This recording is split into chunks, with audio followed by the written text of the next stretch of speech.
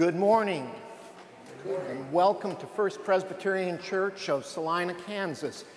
We extend a warm word of welcome to those of you listening to us by way of KINA Radio 910 AM 107.5 FM, and to those of you who are watching us via Facebook or YouTube.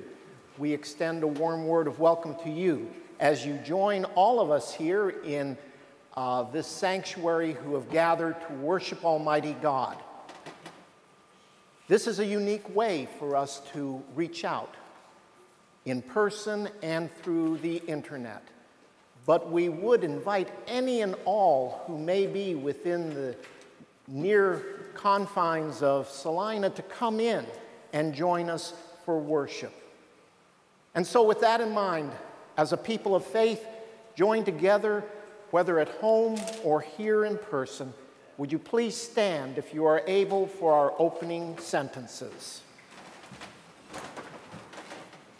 Please join me in the call and response.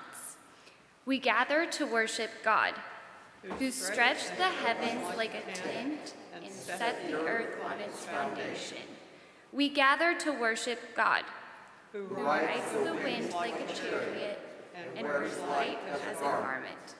We gather to worship God, who suffered for the sake of our lives and offers us life abundant. So let us worship God. Please remain standing and join us in our opening hymn, number 23, God, You Spin the Whirling Planets.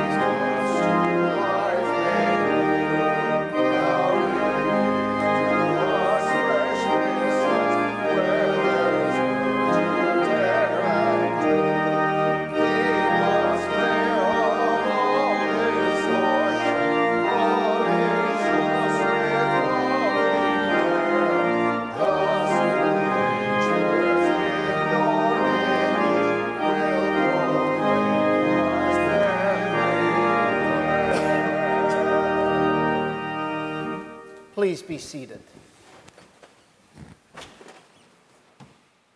As we come together as a people of faith, we come trusting in our God, knowing that if we can sincerely confess that which we have done that has separated us from one another and from the Almighty, we will find mercy. With that in mind, please join me in our prayer of confession printed in the bulletin. Merciful and gentle God, we have wanted reward without sacrifice. We have been unwilling to serve and have not humbled ourselves in obedience. Forgive our hubris, gracious God. Correct our ignorant ways and help us to know your glory through servanthood. Guide us to be true followers of your way through Jesus Christ our Lord. Amen. Know this, my friends. You are reconciled to the Almighty. You have professed your love for God through your confession. Friends, believe the good news of the gospel. In Jesus Christ, you are forgiven.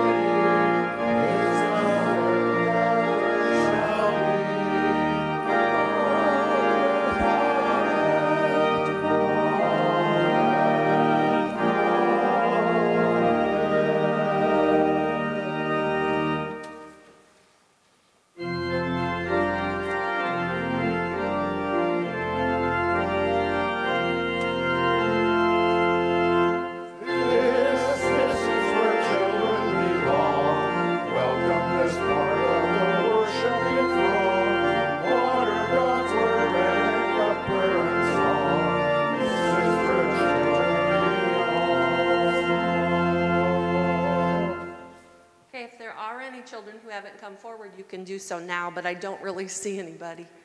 I would like to um, welcome anybody who's watching us, any kids who are out there watching us on TV or listening to us on the radio to um, know that this is for you today.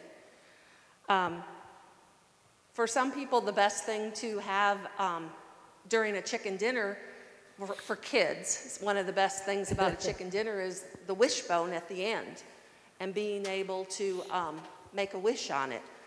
Now, I always thought the turkey bones were, the turkey wishbones were a lot better than the chicken bones, but they were a little more sturdy.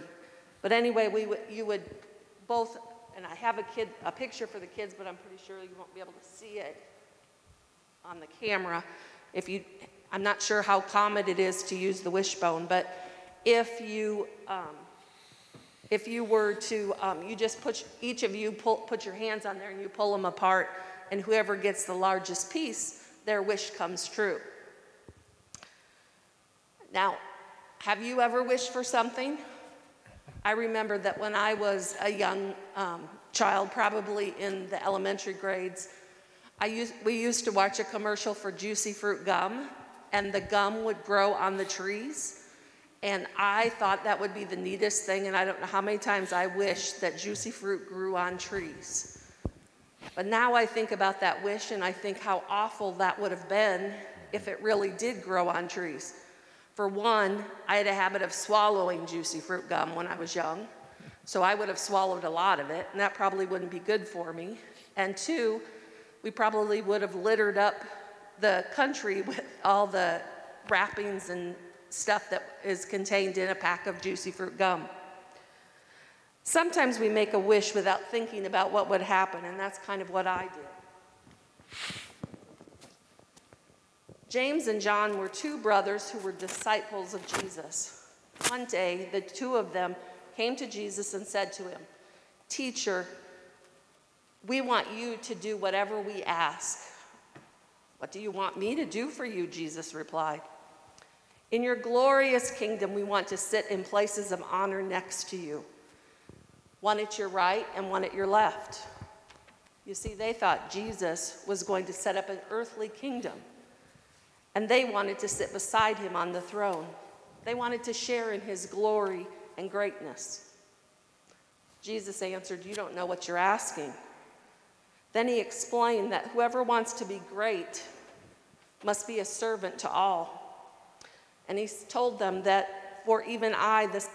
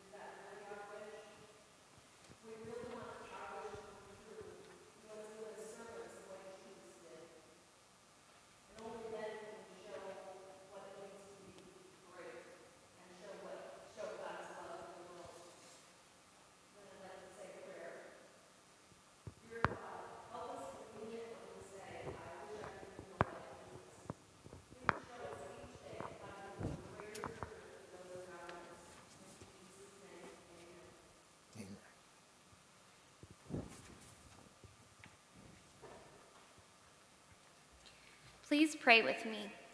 O God, your word gives us counsel for our understanding. Enable us to receive it today. In the name of your Son, our Lord, amen.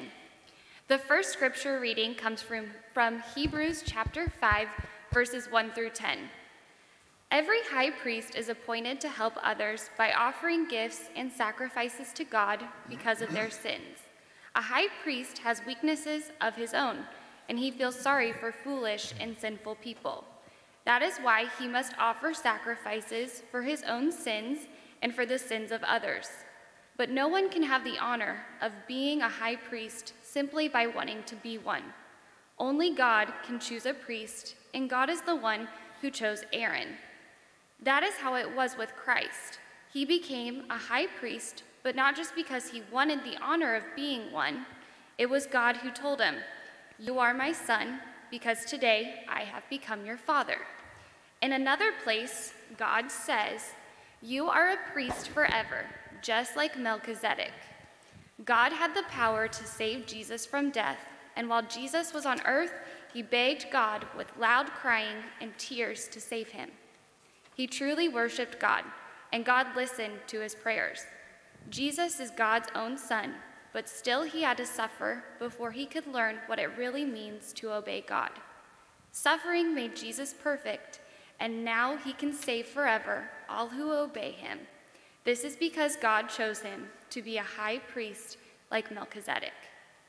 The grass withers, the flower fades, but the word of our Lord will stand forever. Thanks, Thanks be, be to to God.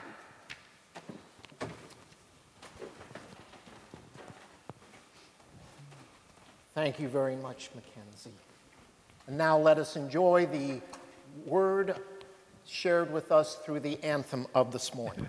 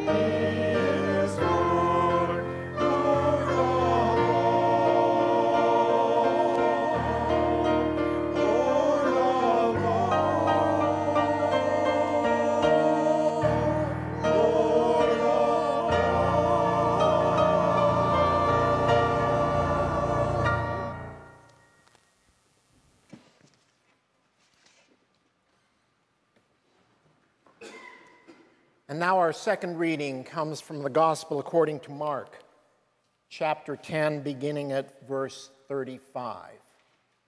As with the first reading, I remind you again that this is the Word of God as it speaks to you. For we read, James and John, the sons of Zebedee, came up to Jesus and asked, Teacher, will you do us a favor?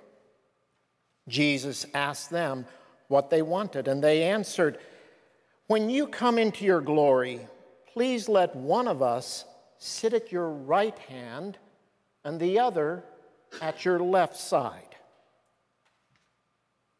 Jesus told them, You don't really know what you're asking. Are you able to drink from the cup that I must drink from?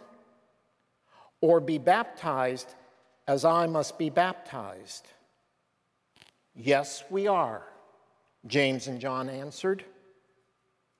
Then Jesus replied, You certainly will drink from the cup from which I must drink, and you will be baptized just as I must. But it isn't for me to say who will sit at my right side or at my left. That is for God to decide. When the ten other disciples heard this, they were angry with James and John. But Jesus called the disciples together and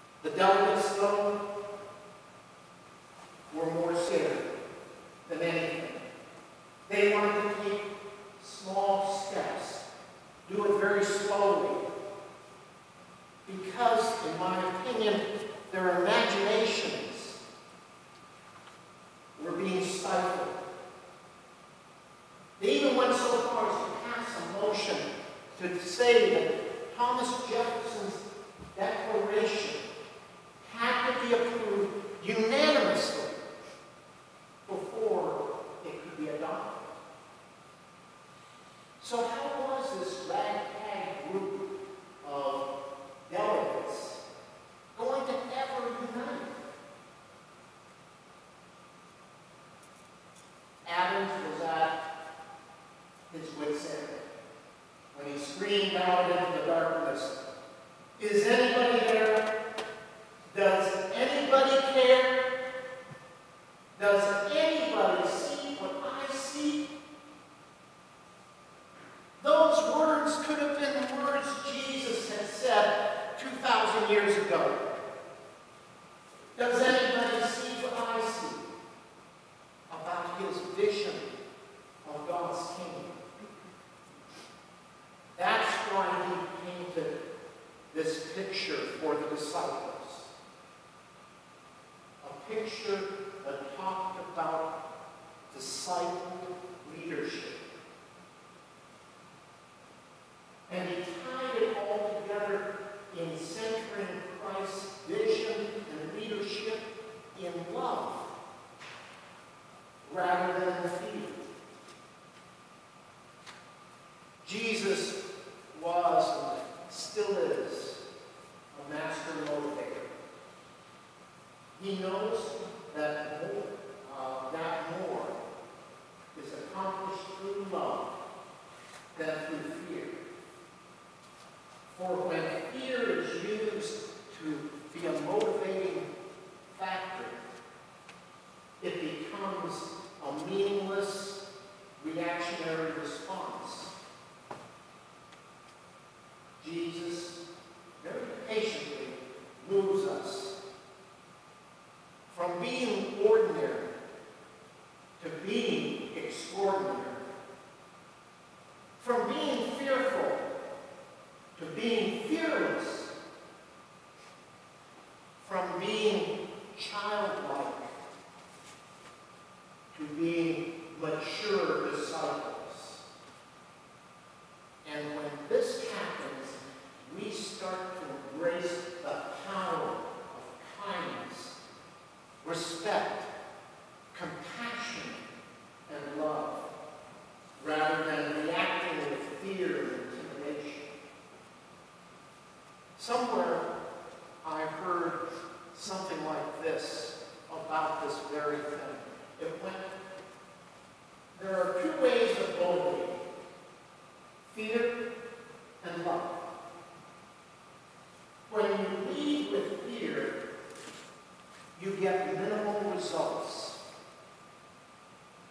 When you lead with love, you motivate people beyond their fullest potential.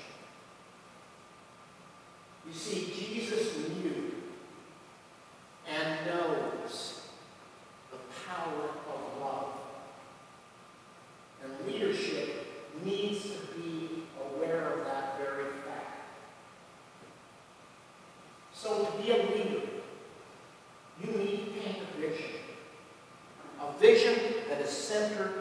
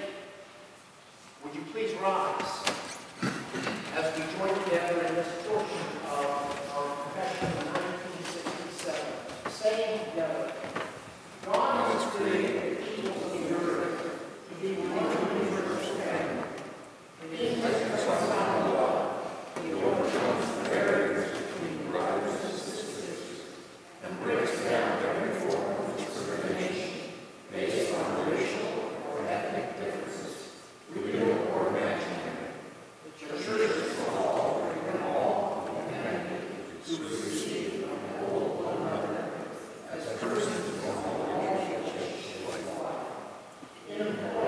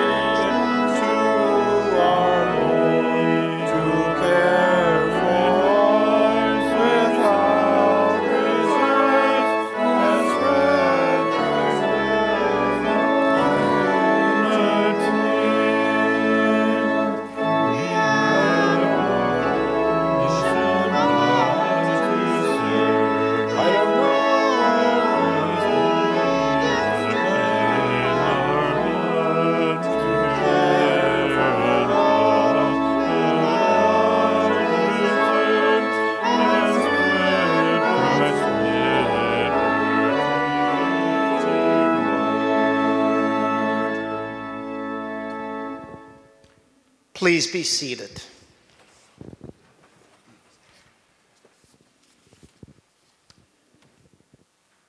Today, I bring your attention to the announcements that are in the bulletin. Please make note of all of them. And if there's any that you would like to learn more about, you're more than welcome to call the church office. But I'd like to highlight just a few. Today at 11:15 right after the worship service in the conference room, we're having a discussion on follow me. An adult discussion and all are welcome to attend that. Also please note the community coat drive that we are hosting with Sunrise Presbyterian Church this coming Saturday. Please note that. And if you would like to participate in helping out, uh, please speak to Marty Mills, who is uh, overseeing that from our congregation's side. And please keep in your thoughts and your prayers over these next, this next year at least, if not longer, our young adult volunteer, Teresa Cooper, who is in Dundee, Scotland, working at a congregation of the Church of Scotland on behalf of you, this congregation, and the Presbyterian Church USA. As we move into prayer now, I know each of you have petitions that are deep within your own hearts and souls.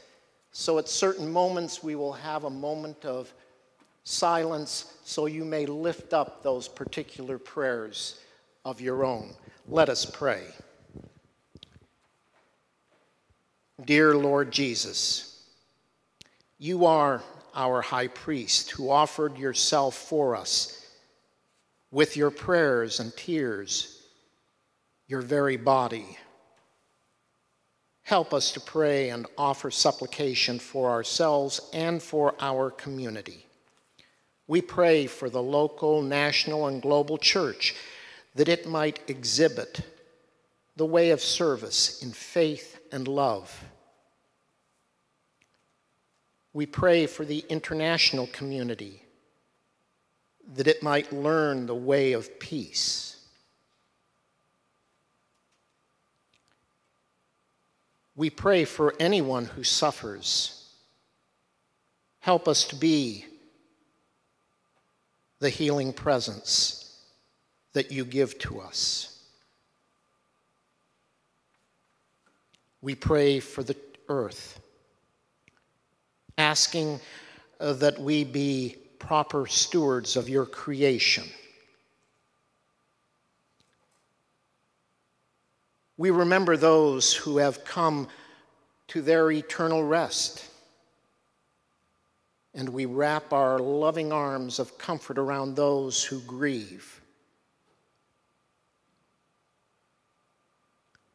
We lift up in silence prayers that are within our own hearts, for we know you will hear us.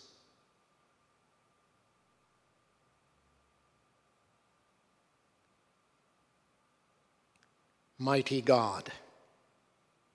We ask all these things in the name of the one you sent to us, that servant priest, Jesus of Nazareth, who also taught us when praying to say, Our Father, who art in heaven, hallowed be thy name. Thy kingdom come, thy will be done, on earth as it is in heaven. Give us this day our daily bread and forgive us our debts as we forgive our debtors.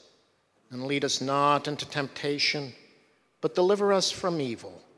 For thine is the kingdom, and the power, and the glory forever. Amen.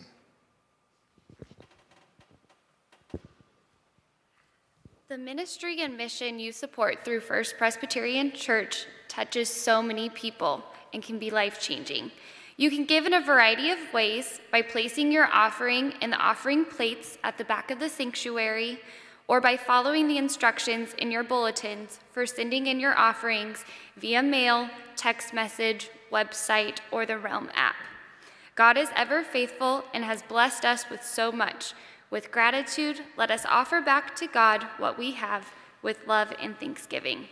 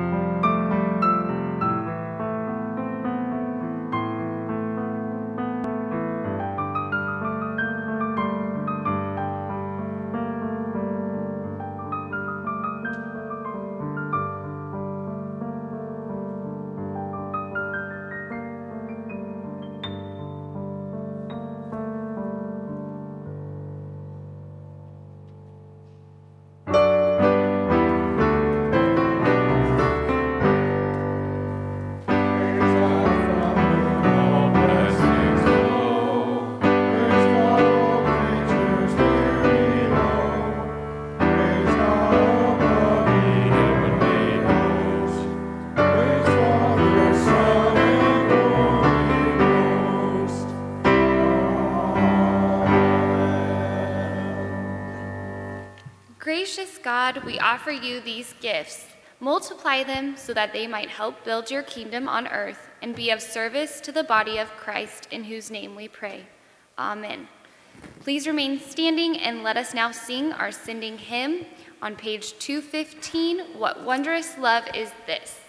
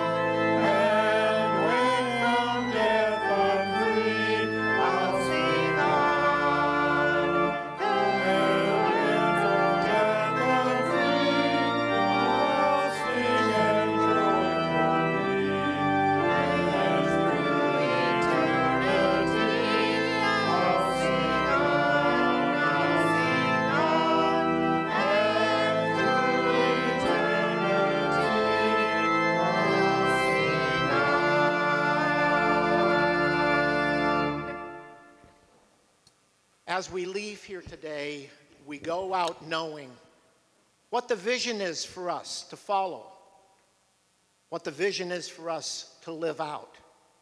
For as we do that, we are always being reminded that we do it not alone, but we do it with brothers and sisters in the faith.